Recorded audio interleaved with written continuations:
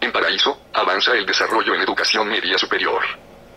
Paraíso, Tabasco, a 25 de junio de 2013.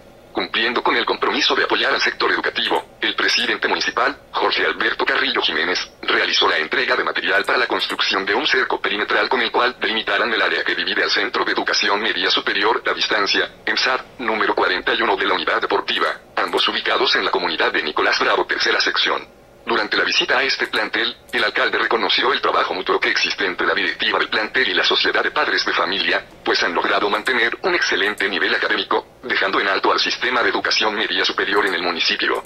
El mencionó que en esta administración la prioridad es mantener educación de calidad, y en respuesta a la petición para mejorar este plantel, ha otorgado recursos para que los estudiantes y la comunidad se beneficien, delimitando la zona educativa de los espacios deportivos, generando mayor seguridad y confianza a los habitantes. Hoy estamos aquí como una muestra de que esta administración no tiene descanso, vamos a seguir apostándole a la educación, trabajar en equipo y estar en una misma dirección se reflejará en los excelentes resultados. Sigamos uniendo esfuerzos por mejorar nuestro municipio, afirmó.